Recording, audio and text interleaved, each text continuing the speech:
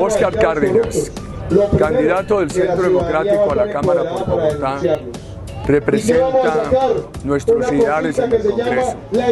Honorabilidad, cumplimiento, estudio, entrega a la comunidad. Somos poquitos, ayúdenos a crecer. Oscar Cárdenas, candidato a la Cámara.